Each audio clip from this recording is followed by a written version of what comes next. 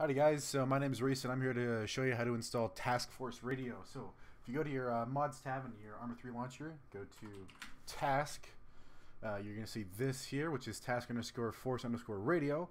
That's the mod, so you're just going to load that mod. It'll be dependent on CBA which is totally fine. Um, what you're going to do is you're going to open it, so you just click on it, go to these little dots here, these three dots, uh, you're going to go open folder in Windows Explorer, uh, click I understand wait for the file to open.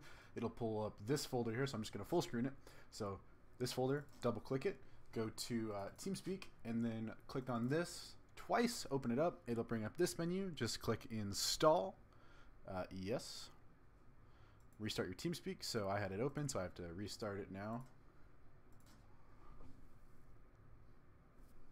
And now it's open. Might have to update it, but that's fine. Uh, you go to Tools, and then click Options under your add-on uh, add-on section, you're going to see Task Force Arma 3 Radio, and if it is not enabled, you have to enable it here. If you have Task Force uh, Radio Beta installed uh, still, you're going to have to completely delete that.